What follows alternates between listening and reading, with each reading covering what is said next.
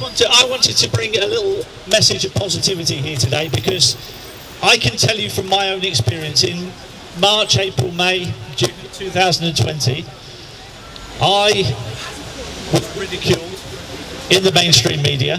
I was ridiculed on social media. And I can tell you now that the change, the massive change in the replies I get on social media now tells me that there has been a huge shift in our society in the people that now know what's going on, what we've been trying to get out to people.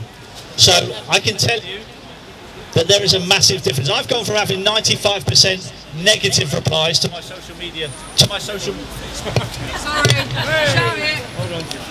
I've gone from having 95% negative replies to my social media in 2020 to now getting 95% positive responses.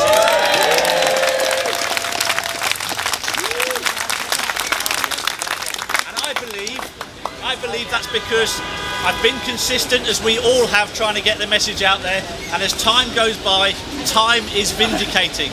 And what we've been saying has been coming true. I want to thank every single one of you for the support you've given me. That means a lot to me. It really does. Very thankful to all, every single one of you.